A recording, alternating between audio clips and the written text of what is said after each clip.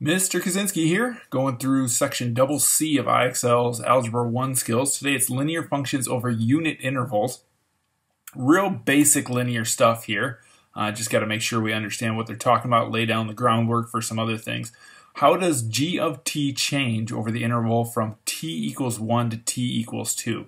So when the value of t increases by this 1, here's t increasing by 1, what happens to the overall value of the function. Okay, so let's go to t equals 1 and find the output of the function. It's 3 right there.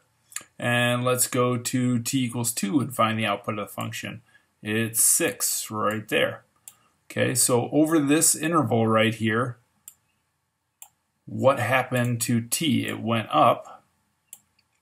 Sorry, I usually use red to show that change. It went up how much? From 3 to 6. It's an increase of 3.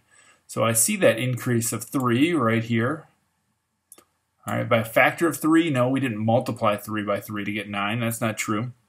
Definitely didn't decrease by 3. An increase of 300% would mean that um, an increase of 100% would take it to 6, and another 100% would take it to 9, and another 100% would take it to 12. So uh, it's definitely not percents. So don't overthink this here. All right, what about over this interval? Okay, again, notice that the interval is 1. All right, so at negative 8, the output is 8. And at negative 7, the output is 7. So over this interval, what happened to the value of the function? It went down by 1. There it is. h of t decreases by 1. All right, so off of graphs, I don't think you're going to have too much problem figuring this out. In fact, I might even argue that it's easier when we're only given the equation and not the uh, graph of the function.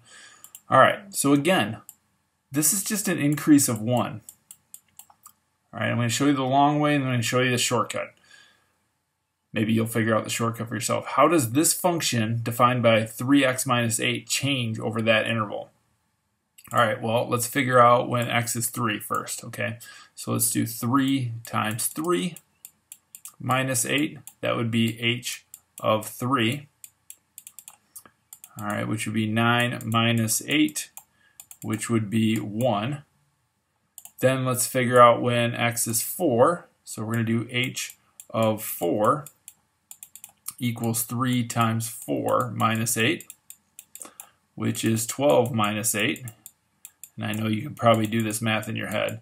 There we go. So the question is, what happened? Over this increase of 1, what happened to the value of the function? It increased by 3. g of x increases by 3. Do you think that 3 right there has anything to do with it? Um, it definitely does. Okay, it's the slope. Okay, as x increases by 1, what happens to the value of the function? It increases by 3, the slope. It's all about the slope. Okay, so as long as this interval is increasing by 1, which it is here, this number right here should tell us what's happening to x. Negative uh, shows decreasing, and the 2 shows a decrease of 2. Okay, um, I'll prove it to you one more time here. If we put negative 8 in, h at negative 8 equals negative 2 times negative 8 minus 9 which is 16 minus 9, which is 7. And if we put negative 7 in here, h of negative 7, that would be negative 2 times negative 7 minus 9, which is 14 minus 9, which is 5. And I told you it would be a decrease of 2. It is a decrease of 2.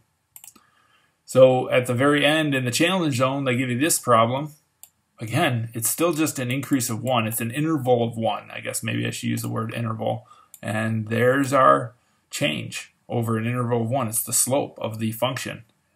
At least that's the case with linear functions. So decreases because it's negative by 0.4. All right, so that's uh, linear functions over unit intervals. You're going to fly through it. Good luck.